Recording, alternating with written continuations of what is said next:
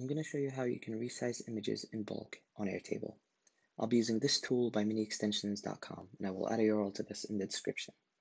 So we have a table here. This field right here has a bunch of images. We just want to resize them and save them in this field. So I'll go ahead and show you the tool here. Um, so let's put them side by side. So this is what you would see here on the right side after buying the tool you'll want to start by following these URLs to fill up the first three things. And then we'll want to have the Airtable field that contains the original images. So this name right here, make sure it's case sensitive. And next is where the resized images will be stored. Same thing, make sure it's case sensitive. And they need to both be attachment fields. And next is we can choose to use scale so that this is useful if you want to like cut the size in half or you know want to cut it to like 75% or 0.25%. So using 0.5 cuts it in half. Using 0.25 cuts it to a quarter, etc. So go ahead and run this here. And as it's running, I explain a couple of things here. So if you're using scale, you can't use width and height at the same time because you know scale is just like compress, like making the image smaller based on a specific criteria that you put here.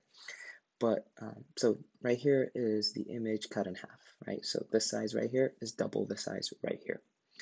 So what I want to do next is I want to show you how you can use the width and height properties. So width and height can be used together at the same time, or you can use either, and then the other will be measured automatically. So if I say width 200 here and run it, what will happen is the extension will keep the width to 200, but maintain the aspect ratio such that the height is automatically measured. So, um, sorry, let me to add that. Um, so if I open this right here, you see that the width became 200, and then the aspect height uh, was maintained. So next, let's try to just make them squares. So if I were to do 200 and 200 here, we would expect the exported images to be squares. And oh, by the way, if you see these gray icons, that's just Airtable processing your images. You just, if you have a lot of images, that can this can take a very long time. So make sure to give it some time to process. So here are the square images. Nice. So two last things here. You can schedule this to run regularly so that it can run every hour or you know whatever.